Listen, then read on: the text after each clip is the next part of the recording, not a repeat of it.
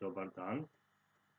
Danas ćemo u mikrobitu uraditi jednu malu flipper igricu.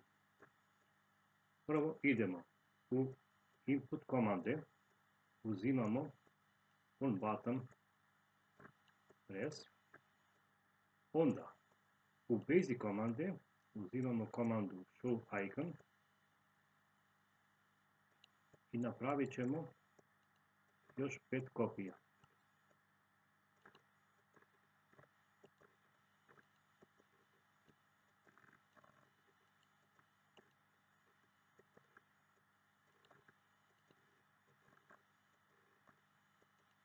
Tražit ćemo, evo, ovaj četvorugao, povlačimo, stavljamo tu.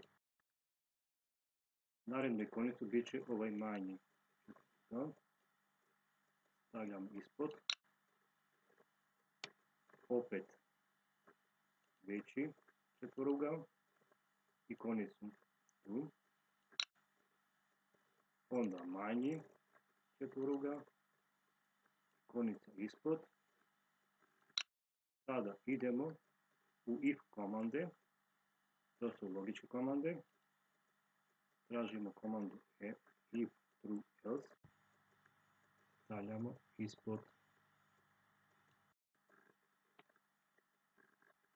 Onda u show icon tražimo komandu, evo neka bude ovaj, to je glava.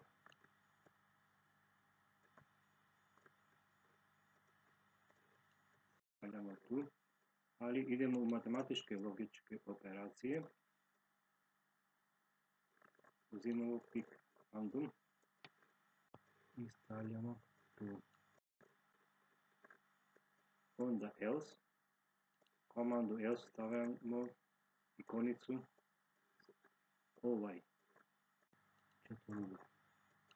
Povlačimo i stavljamo tu.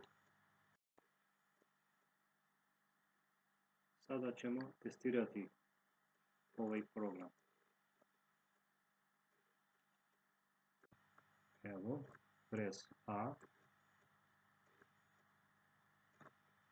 Da vidim opet. Vidimo da program radi.